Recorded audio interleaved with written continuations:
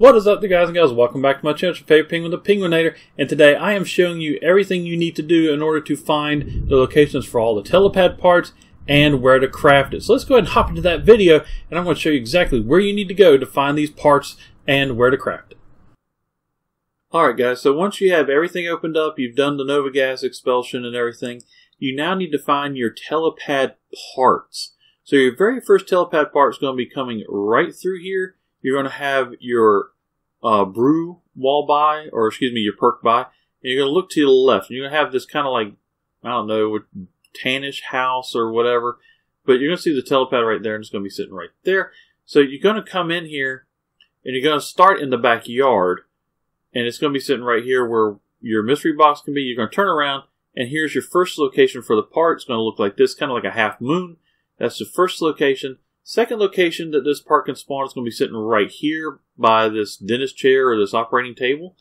The third and final location can be sitting right in here in this locker. So that is all three sec- uh, locations that part can spawn. Now you have another part that can spawn right here in the green and stripe house.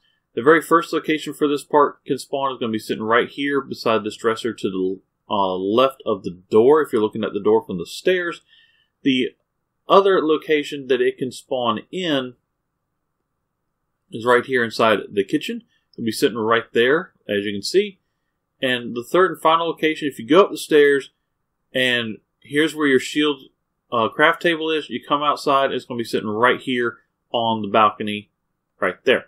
So that is all three locations for that part. Now your final part is going to be downstairs in the bunker area. So what you're going to do is you're going to head down below, and you got to go all the way to generators, I believe it is, is what it's called. So if I can get the camera to getting stuck on stuff. Okay, so when you come through generators from diner through beds, your first location is right here by these blue barrels.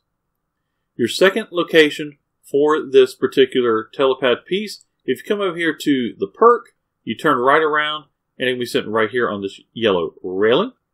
The final location for this piece is going to be sitting over here in the back corner. If you're trying to head out to solitary, you turn and it's going to be sitting right here, as you can see, by these yellow buckets. So that is all of the parts and their locations. And now to craft it, what you're going to do is you're going to come here to APD control, and your craft table for it is going to be sitting right there by the Koshka or whatever wall by, and that is all the locations and the crafting table. So anyway, guys, hopefully this helped you be able to find those parts a lot easier and where to craft them at. And again, for anybody who's not sure where you crafted at, on the back of the table, which you cannot see in theater mode, there's a blueprint. They'll have one for the shield and one for the telepad. So anyway, guys, hopefully that helped you be able to find it and craft it. And if this video helped you out, please feel free to smash that like button. And if you're new to my channel, please don't forget to subscribe and help support a penguin that likes to play video games. And for anybody who uh, wants to see me do live streams now and then, I do live stream on Twitch and DLive when I get the chance.